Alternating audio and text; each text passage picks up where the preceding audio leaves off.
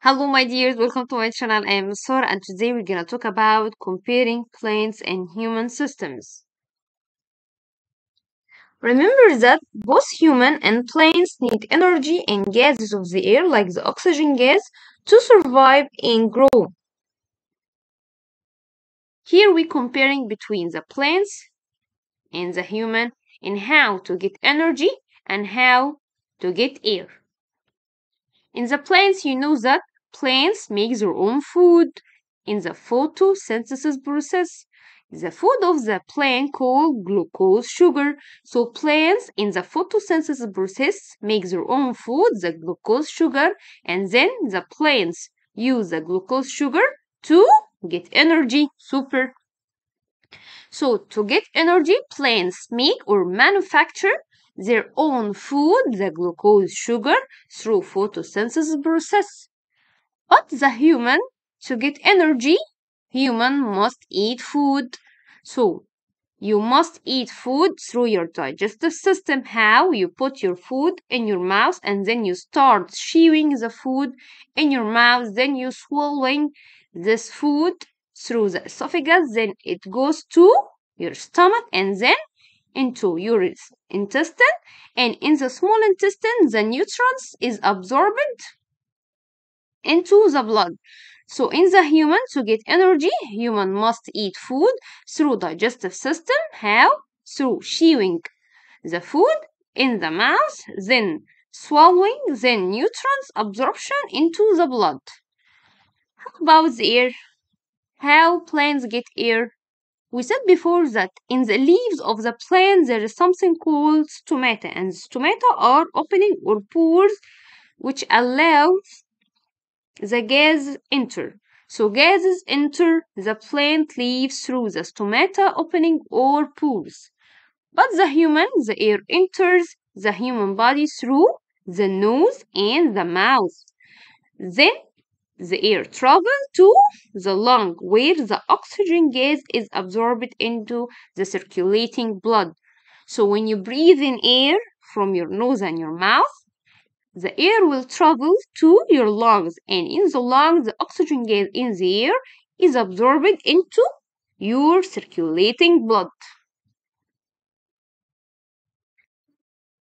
so this is the human circulatory system the human circulatory system it is the system that transports the blood and other fluids throughout the body so the human circulatory system it is the system that transports the blood and the other fluids throughout the body.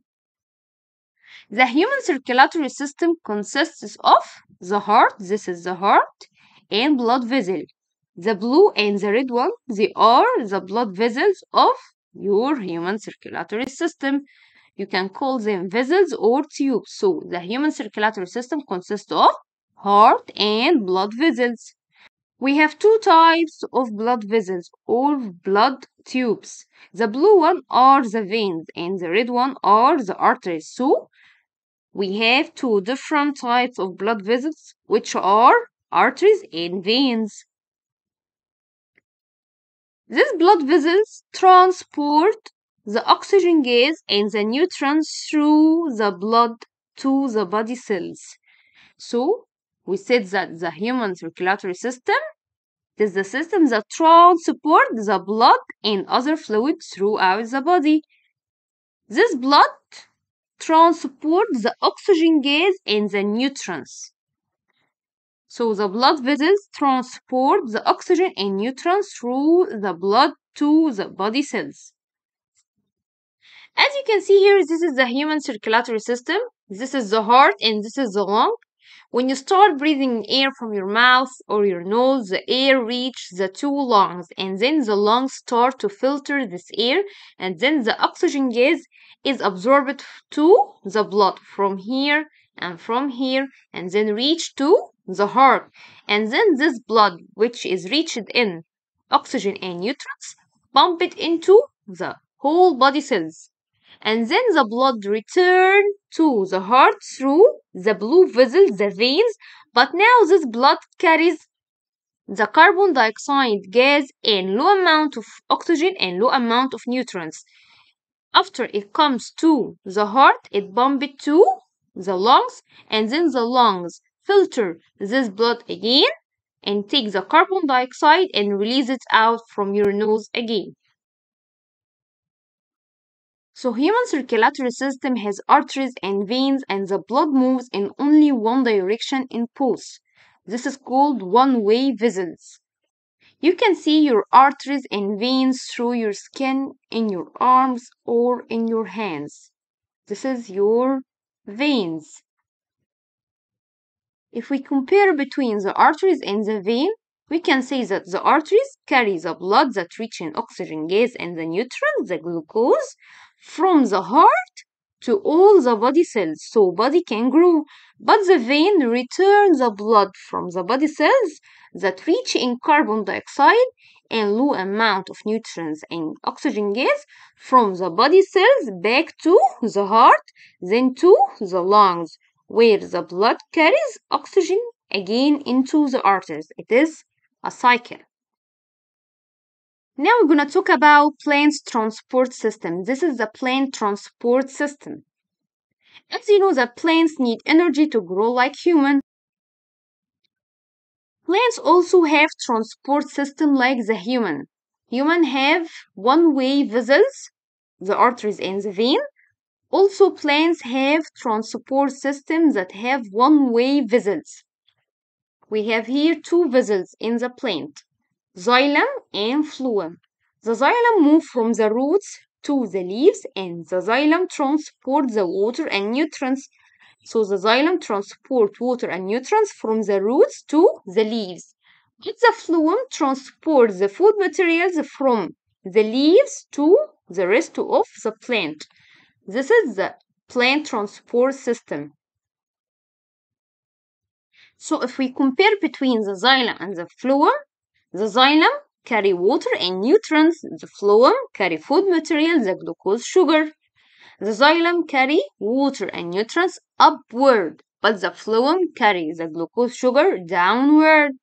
The xylem carry the water and nutrients upward from the roots to the leaves to make glucose in the photosynthesis process, but the phloem carry the glucose sugar downward from the leaf to the rest of the plant to grow. Here we compare between the plant transport system and the human circulatory system. Both plant transport system and the human circulatory system have system of vessels to transport water and nutrients and gases. Both have one-way vessels. The plant transport system it is a system of vessels or tubes called xylem and phloem that transport different materials around the plant parts. But the human circulatory system it is a system that consists of heart and vessels, the arteries and veins that move blood around the body parts. In the plant transport system, the xylem carry water and nutrients upward from the roots to the leaves to make the glucose sugar in the photosynthesis process. But the phloem carry the glucose sugar, the food material, downward from the leaves to the rest of the plant to grow. But in the human circulatory system, the arteries carry blood that rich in oxygen gas and nutrients, the glucose, from the heart to all body cells, so body can grow but the veins carry the blood that rich in carbon dioxide and low amount of nutrients and oxygen gas from the body cells back to the heart, then to the lungs, where the blood carries oxygen gas again into the arteries. Have one minute break and then let's continue our lesson. If you remember the photosynthesis process to talk about the plant food, the plant's roots absorb the water and nutrients from the soil, then it carries this nutrients and water to the stem through the xylem, then to the leaves. In the leaves, the chlorophyll substance absorbs the sunlight energy and the air enter the leaves through the stomata opening or pores and this air contains the carbon dioxide. Then the sunlight helps the combination of water and carbon dioxide in the process of photosynthesis to make the plant's food, the glucose, sugar. So the sunlight helps the combination of water and carbon dioxide to make the glucose, sugar. We said that the photosynthesis need water, sunlight, carbon dioxide to make the food of the plant.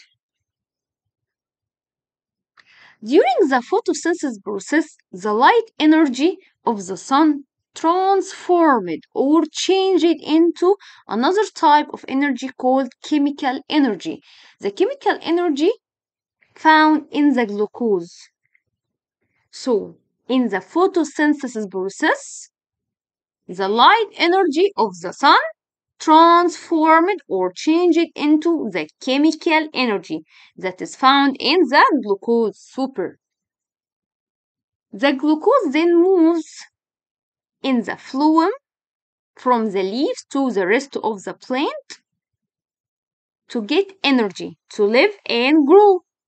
So glucose moves in the phloem from the leaves to all plant cells to get energy to live and grow. Also, during the photosynthesis process, the plants produce oxygen gas and water that are released to the air. So the water is a vapor, and all living organisms use this oxygen gas in the respiration process. So in the photosynthesis process, the plants produce the glucose sugar, the food of the plant, and also release oxygen gas and water super. Now we're going to talk about flowers of plants. Some plants have large, colorful flowers, as you can see in the picture. And some other plants have very small flowers, like grasses. And some flowers aren't very colorful. As you can see, the flower is green like the leaves. Flowers are the reproductive parts of many plants. What is the meaning of reproductive? Reproductive, they make the seeds or the babies of the plant. Flowers produce seeds or the baby of the plants for the plant that help the plant to reproduce. When the seeds receive the air and water and the correct temperature, then they can grow into a new plant. They can grow into a new plant. When when they receive air water and the correct temperature. Super. So reproduction process is it is the process of making new plants. Reproduction process it is a process of making new plants do you know that in the sunflower, the seeds are the small dark colored object in the center of the flower? This is the seed of the sunflower. Remember that plants use their food to produce flowers, which are responsible for reproduction. So, plants make food and then they grow a flower, then the flower makes seeds, then the seeds make a new plant. So, what is the difference between xylem and phloem? The xylem carry water and nutrients upward from the roots to the leaves to make glucose in the photosynthesis process, but the phloem carry glucose sugar downward from the leaves to the rest of the plant to grow. What is the circulatory system? Can you tell me?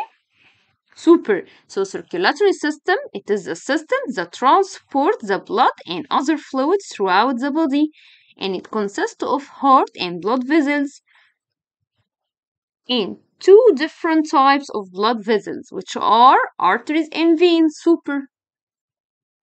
Can you tell me what is the reproduction process? Super. So reproduction process, it is the process of making new plants. Clap for yourself. This was our lesson for today. I hope you enjoyed. Don't forget to like, subscribe, and share. Goodbye.